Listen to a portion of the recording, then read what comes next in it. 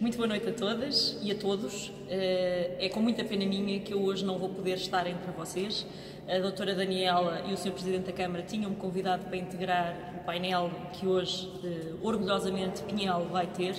Eh, por impossibilidade de trabalho, eu vou viajar amanhã mesmo para integrar uma missão de observação eleitoral uh, para a Guiné-Bissau, que irá ter as suas eleições legislativas no próximo dia 10, e portanto é-me todo impossível estar aí entre vocês, uh, mas decidi ainda assim deixar esta mensagem porque considero de facto muito importante que o meu Conselho faça um debate sobre estas matérias, que são matérias que eu há alguns anos acompanho já aqui na Assembleia da República, são matérias que me dizem muito porque não só trabalho nelas nas últimas duas legislaturas, como integro também organizações uh, internacionais uh, nas quais sou embaixadora, uh, defendendo matérias sobre os direitos das mulheres, matérias como esta que hoje debatemos aí, e em concreto o tema da afirmação da mulher na sociedade. Uh, é de todo relevante que um Conselho tão pequeno como Pinhel, mas tão grande uh, em população e em sentimento como é o nosso Conselho de Pinhel, possa debater este tipo de temas, possa centrar uh,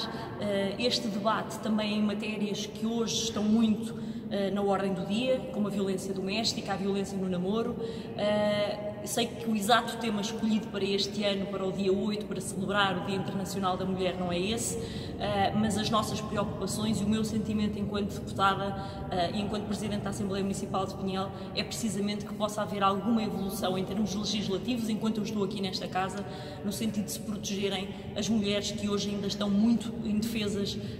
no que diz respeito à violência doméstica, mas também as jovens meninas e crianças que também estão muito indefesas ainda nas nossas escolas, no nosso dia a dia, no que diz respeito à violência no namoro. Uh, os desafios que se colocam às mulheres na nossa sociedade, quer em termos de trabalho, em termos laborais, quer em termos sociais, quer em termos políticos, são enormes. Todas nós que participamos ativa, política e civicamente sabemos disso, das dificuldades que todos os dias sentimos em articular as nossas vidas pessoais com o nosso trabalho, mas é com sentimento que eu penso que as mulheres do meu Conselho são capazes de ultrapassar tudo isso, que vos deixo essa mensagem, desejando um bom trabalho, um bom serão e um grande debate. Muito obrigada.